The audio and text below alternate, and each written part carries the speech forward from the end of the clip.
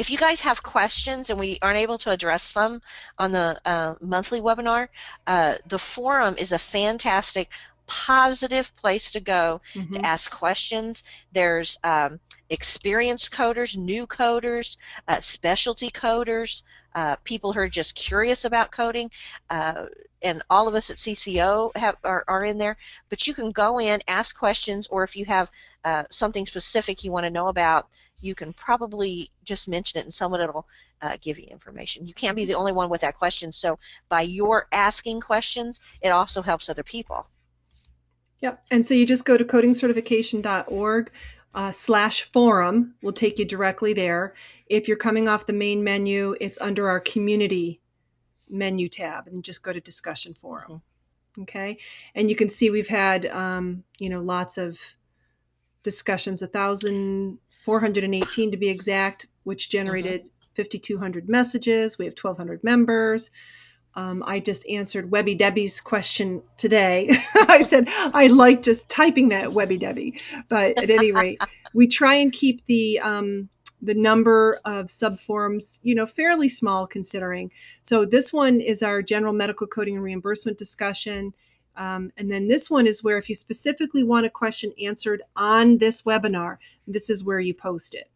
And Ruth is really good at, at kind of keeping this organized. If a question lands in the wrong bucket, she'll she'll move it to the to the appropriate one. Um, CCOL is um, an email list that I started back in 1999. That's still going, and we just uh, basically have all the messages copied here as well, so people can kind of see what's going on with that. Blog posts are, are copied over onto the discussion board. We've got a water cooler if you want to talk about non well it can be coding stuff, but it's it's just meant for you to talk about whatever you want, recipes, health stuff, that kind of stuff. Medical coding jobs, this is free. We let vendors and people that are looking for coders come post here for free. We don't charge.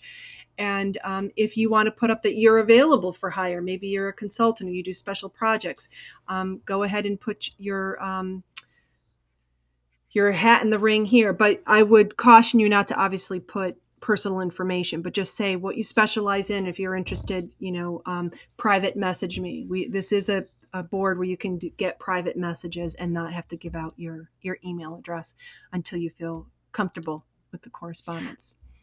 Hey, Laureen, they're mm-hmm. asking about the upgrade to 2014 Blitz. Mm-hmm. Um, I'm not sure how much that is. They're it's six, it's sixty dollars to upgrade from your previous year's version. If you have a version that's two years older, then um, oh, I can't remember what we charged. But if you email helpdesk at codingcertification.org, Sylvia confirms your purchase and she gives you the link to be able to get it at the, the discounted rate. And um, we really, I really believe that the 2014 version is our best one yet because uh, first of all, Boyd came and recorded it in person instead of taking my video footage and having to deal with it. He's like, I'm going to come and do it myself. Um, Not so, because you were doing a bad job. Obviously, lots of people enjoyed your classes before. We've just got it out faster, I think, this year. That was a big thing for us. Oh, yeah, you were awesome. Get more CPC exam tips, coding certification training, and CEU credits go to www.codingcertification.org.